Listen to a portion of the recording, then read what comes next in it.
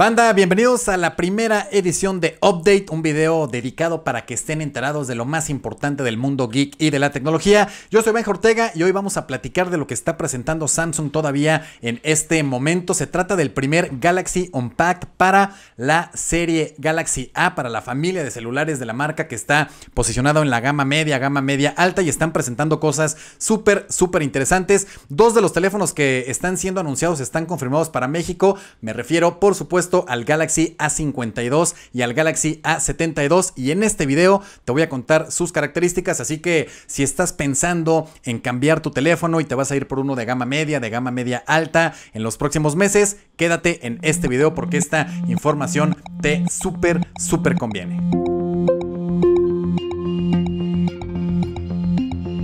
Vámonos de volada con las características más interesantes de estos equipos. De entrada les puedo contar que hay una mejora importante en el tema de pantallas. En el caso del A52 contamos con una pantalla de 6.5 pulgadas y en el caso del A72 con una de 6.7 pulgadas. Muy importante, ambos teléfonos cuentan con tecnología Super AMOLED en la pantalla y muy recalcable, también tienen tasa de refresco, frecuencia de actualización de imagen de 90 Hz. Esto ya lo saben quienes están un poquito más enterados, pues te brinda una experiencia experiencia mucho más fluida en la navegación y por supuesto una experiencia mucho más agradable en el tema de los juegos. Algo a destacar en estos eh, teléfonos, en estos nuevos desarrollos es que Samsung entrevistó a más de 3.000 usuarios para entender sus necesidades en esta gama de teléfonos, en esta gama de precios y las características que más resaltaron en esas entrevistas es pues una batería de larga duración, una pantalla eh, pues más ancha, una pantalla increíble, cámaras de alta calidad y un precio por supuesto mucho más asequible y bueno, la promesa de Samsung con estos nuevos Galaxy A52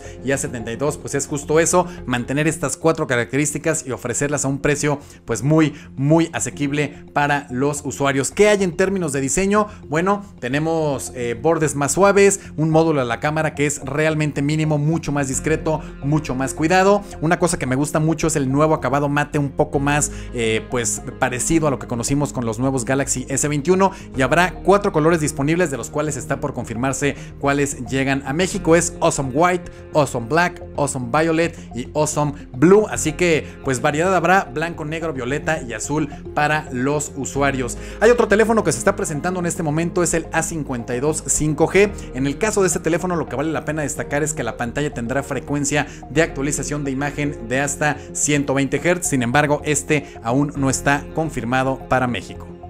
Vámonos de volada con una de las características más importantes, el tema de las cámaras. Tienen un sistema cuádruple ambos teléfonos con una diferencia pequeñita.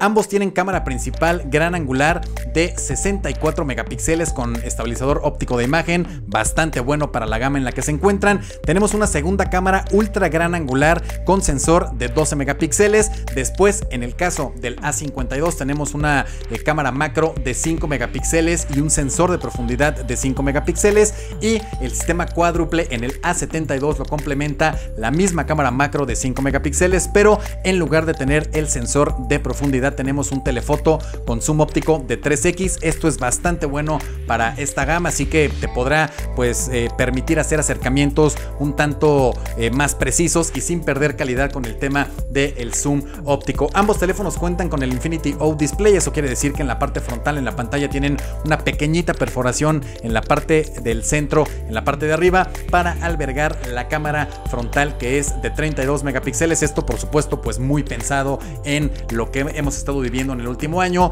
más videollamadas, ya sea para trabajar, para la escuela, para estudiar, para estar en contacto con amigos y familiares. Entonces esta cámara de 32 píxeles, de 32 megapíxeles, pues está muy pensada en ofrecer buena calidad para estas videoconferencias o videollamadas. En la parte de la cámara, pues también muy importante decirlo, cuenta con inteligencia artificial que te da optimización de escenas, hasta 30 tipos diferentes de escenas, entre las cuales pues encontramos fotografía de paisaje en ciudad, eh, fotografía de mascotas, perros, texto también, eh, fotografía de comida. Y bueno, esto eh, ajusta de forma automática los eh, diferentes ajustes de la cámara para que las fotos siempre salgan pues de forma mucho más espectacular. Otra cosa que me gusta mucho es que se traslada también la función Video Snap, te permite grabar videos en 4K y tomar fotografías de 8 megapíxeles al mismo tiempo.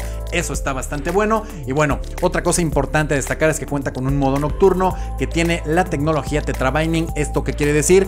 Hace una conjunción de 4 píxeles para formar un píxel más grande que entre más luz y de esta forma con el modo nocturno puedas obtener fotografías más detalladas, más nítidas y con más cantidad de luz. Este modo nocturno de hecho utiliza o hace al mismo tiempo de volada 12 fotografías a la vez para combinarlas al final en un resultado que va a ser pues una fotografía con mejor iluminación, con mejor detalle, con mejor nitidez y bueno, al final de cuentas lo que buscas en el, modo nocturno pues es justo eso, ¿no? Que la fotografía salga, que se vea bien y que los detalles puedan estar presentes dentro de la imagen. En el apartado de video cuenta con el modo video profesional, esto te permite hacer todos los ajustes desde temperatura de color, eh, la entrada de luz a, la cámara, en donde quieres que esté enfocado el sonido y puedas crear también contenidos y videos de mucha mejor calidad. Y otra cosa también muy interesante es que tiene nuevos modos como My Filter que pues te da filtros personalizados para tus fotografías, también tiene emojis en realidad aumentada y una función que pinta bastante bien,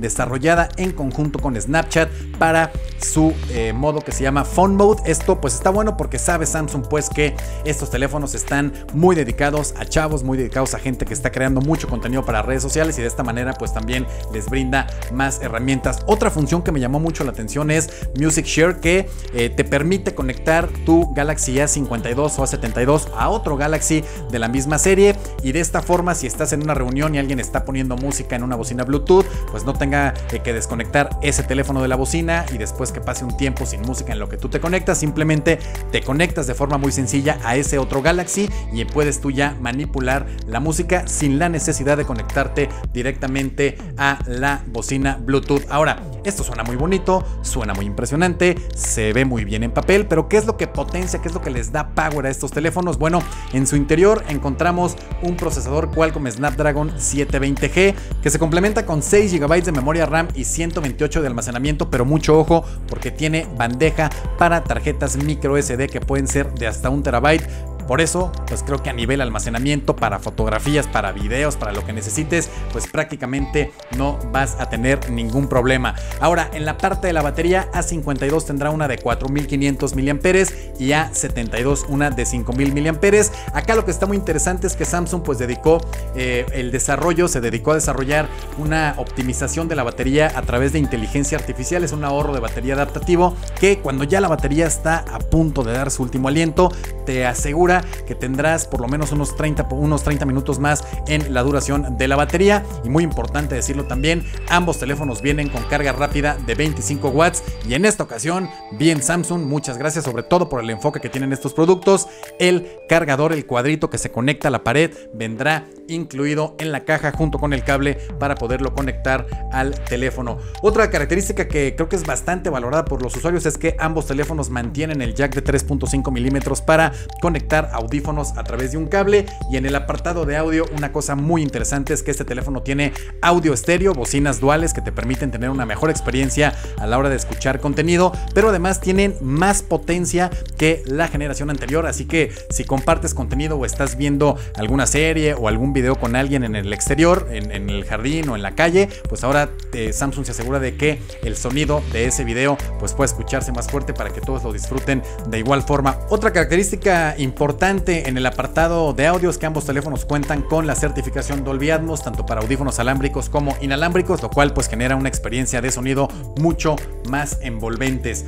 Eh, la verdad es que están bastante buenos, escríbanos en los comentarios qué opinan de estos teléfonos, los precios están por confirmarse y bueno, también se espera que lleguen a México, a nuestro país a partir del mes de abril. Escriben en los comentarios qué opinan de estos teléfonos, si quieren que los comparemos con algún otro, si están ustedes ya por cambiar a un teléfono de gama media, a un teléfono de gama alta, si es que van a tomar en cuenta estos nuevos teléfonos Samsung, que por cierto, y ya se me estaba pasando contárselos, ambos están protegidos por la certificación IP67. Eso quiere decir que pueden sumergirse hasta un metro durante 30 minutos en agua dulce y por supuesto que si te agarra la lluvia, si quieres hablar por teléfono y está lloviendo, te quieres aventar una foto por ahí un poco más artística, puedes utilizarlos en esas condiciones sin ningún problema. Yo soy Ben Ortega, esto fue la primera edición de Update para que estés informado, para que estés enterado.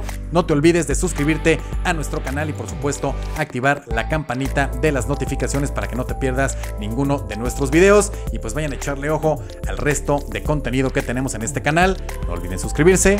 Hasta la próxima.